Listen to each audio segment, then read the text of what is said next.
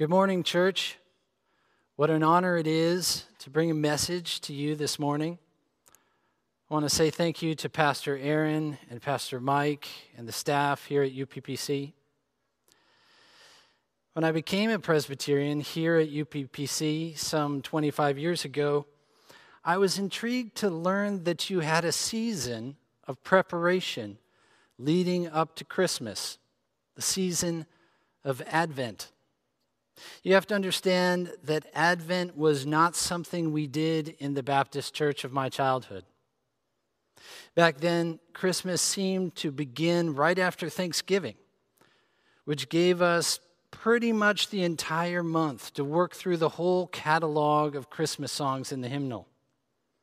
I think the closest I ever got to Advent was one of those little calendars with the chocolate hiding behind the doors. So as a relative newcomer to Presbyterianism, I have to say, Advent is kind of strange. Consider, while the rest of the culture is gearing up for our annual festival of mass consumerism, Advent says, watch and wait. The day of redemption is coming, but it's not here yet. And while the rest of the culture starts singing happy, nostalgic songs about jingle bells and chestnuts roasting and snowmen with magic hats, Advent says, no, no, here are some older, haunting songs. Songs about watchmen looking for the morning or roses blooming in midwinter. And at a time when most of us are stretched thin and tempted to be anxious or distracted, Advent calls us to pay attention, to stay awake in anticipation of what God is about to do in our midst through Jesus Christ.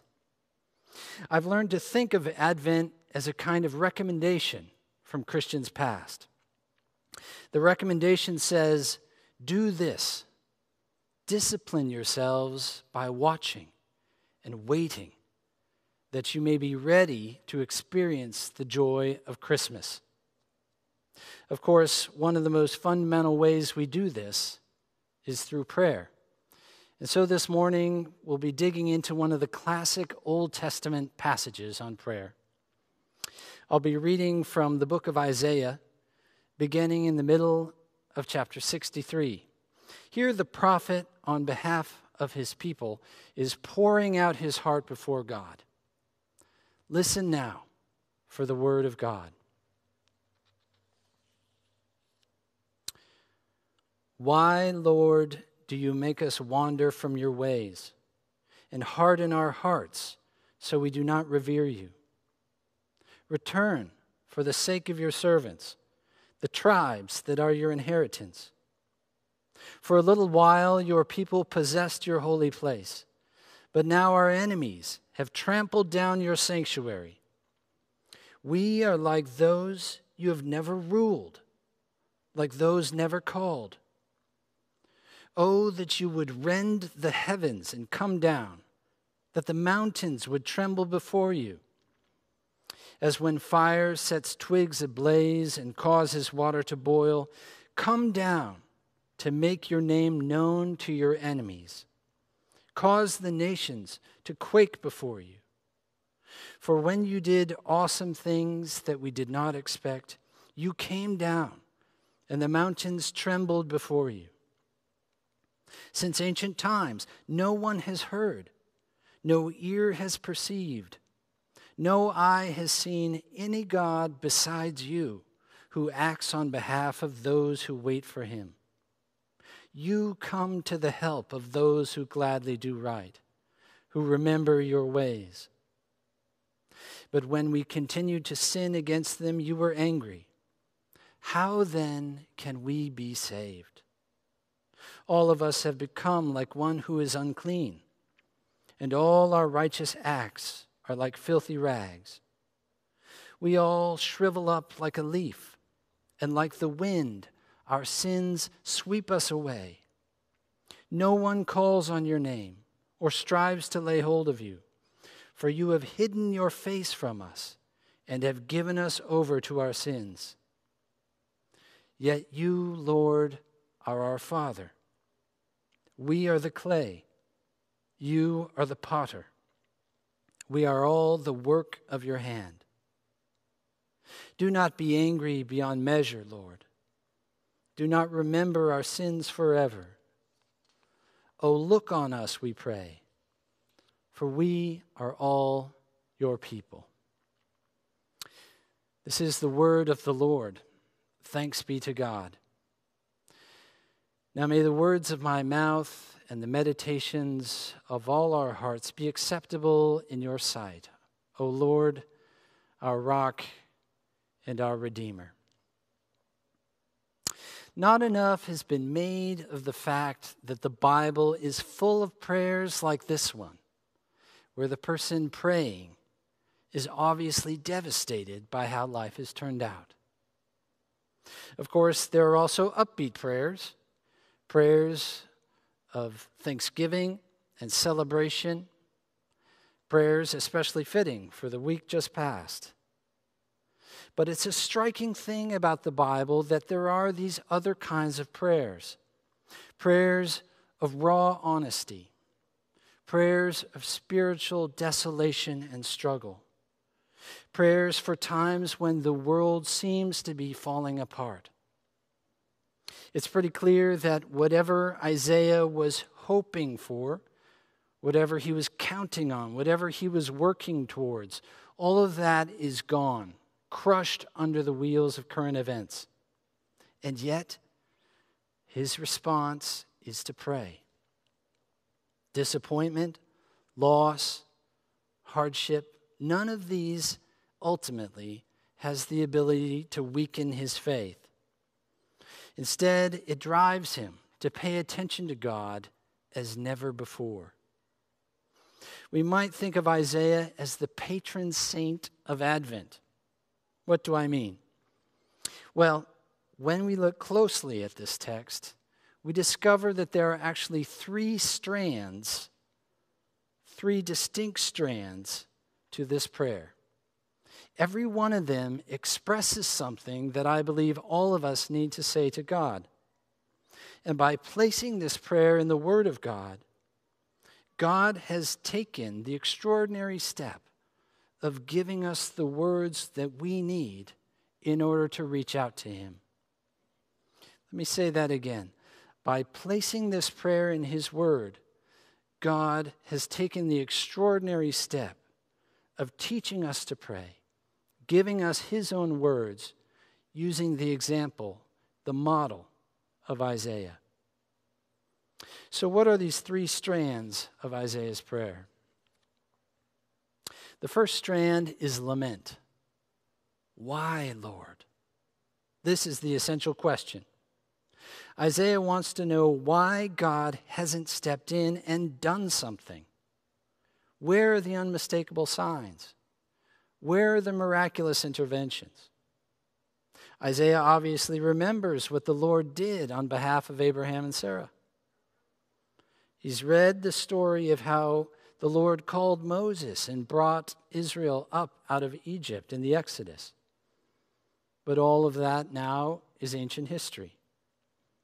If God is good, and He is, and if God acts on behalf of those who wait for Him, which he does, then why? This is Isaiah's question. This strand of prayer, lament, lifts all of our darkest, most intense feelings into the light. Lament dares to believe that our sense of loss or discouragement or anger or doubt or confusion, everything, in fact, that we're feeling and facing, all of this is somehow still within bounds for prayer. Lament gathers up the broken pieces of our lives, it makes an offering out of our suffering. When I think back on the year that's coming to a close, I'm struck by how many things have happened that call out for just this kind of prayer. It's been a year of firestorms and windstorms, hurricanes and floods, a year of protests against police brutality and systematic racial injustice. It's been a year of record unemployment and epic levels of government dysfunction. Meanwhile, the pandemic is still upending our way of life. Small businesses are closing. Hospitals now are struggling. Communities are hurting. It feels as if we are isolated from each other, not only politically and geographically, but emotionally as well. Many people I know are trying hard to connect with each other, either through phone calls or emails, FaceTime or video meetings, but somehow the inability to be present to each other is still missing. It's not the same through technology as in person. If we look at 2020 through the lens of Isaiah, we can see the value of lament. Every one of us needs to connect our struggle to the promise of God's grace. Isaiah shows us how. His prayer is not neat and tidy. Lament never is, but it is honest, absolutely painstakingly honest.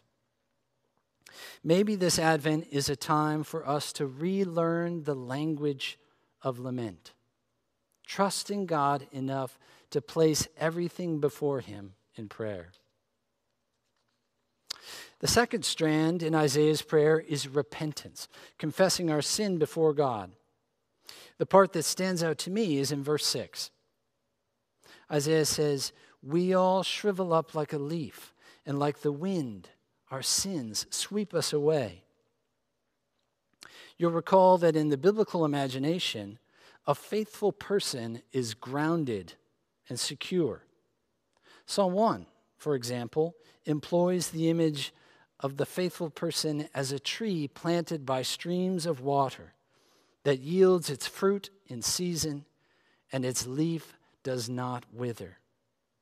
What does Isaiah do but turn this familiar image upside down? When we sin, we cut ourselves off from our roots. We lose out on the nourishment that we need in order to thrive spiritually.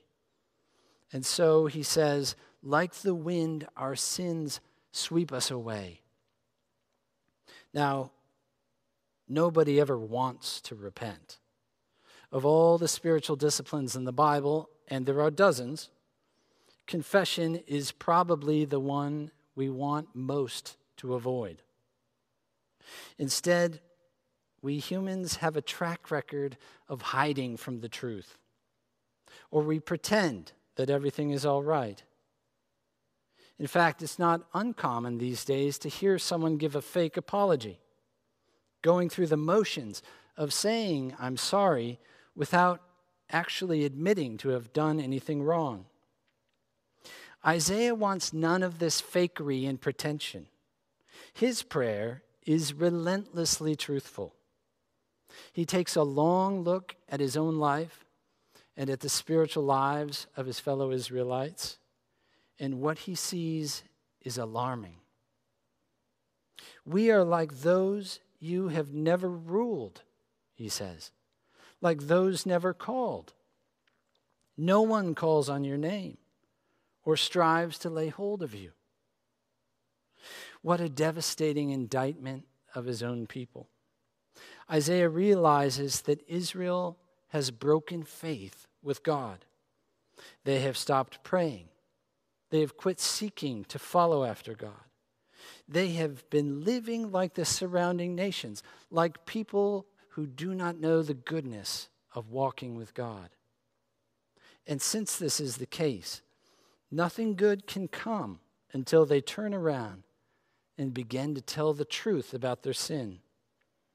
By what they have done and what they have left undone, they have not lived up to their calling that God has placed on their lives.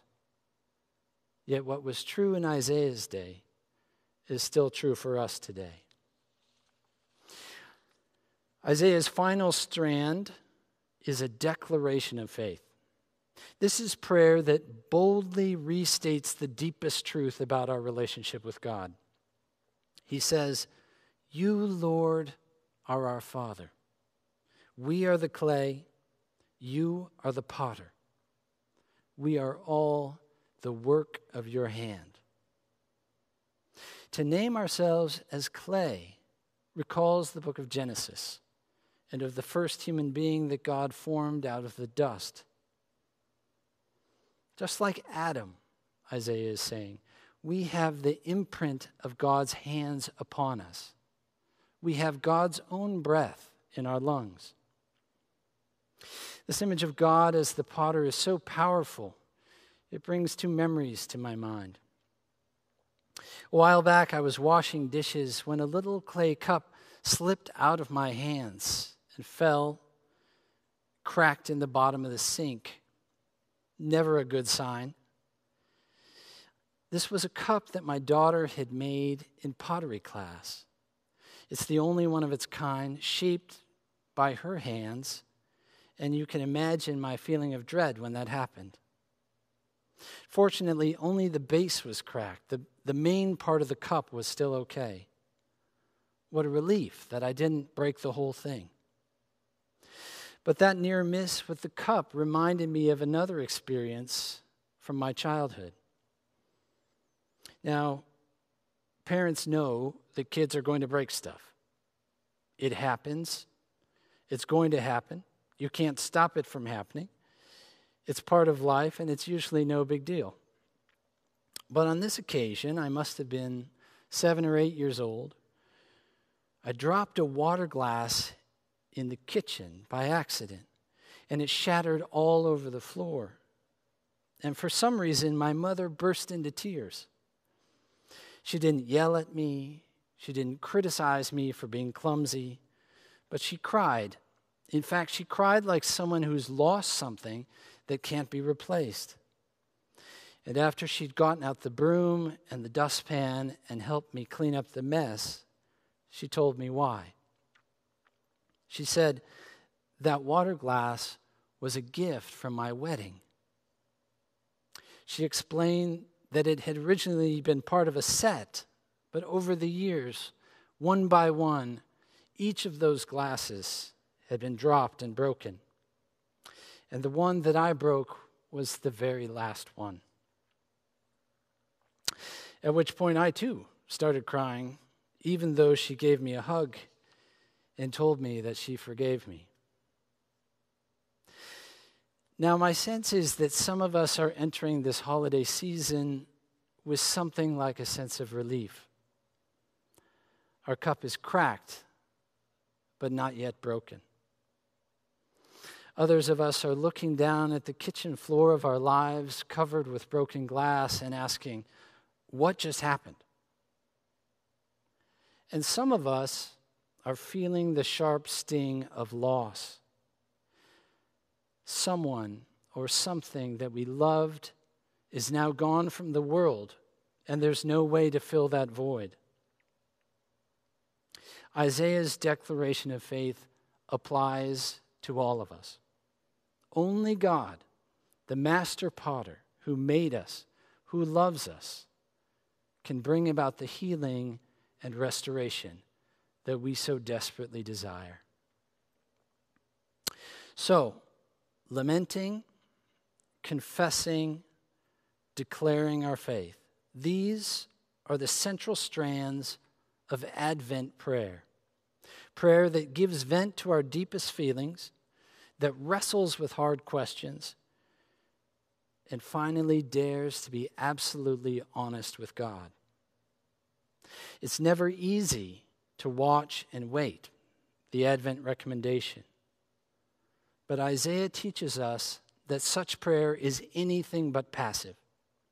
He's restless with God because he knows that unless God Himself comes down into our midst into the mess of our broken world and the mire of our sin, we have no hope of deliverance. And so he prays, Oh, that you would rend the heavens and come down. Do you hear the ragged persistence in Isaiah's prayer? There's a determination here not to let go of God. Let's learn this year to pray like Isaiah, lamenting what is lost and broken, confessing what is wrong, and finally throwing ourselves upon the mercy of God who comes to meet us in Jesus Christ. This is our hope and our calling. In the name of the Father, Son, and Holy Spirit. Amen.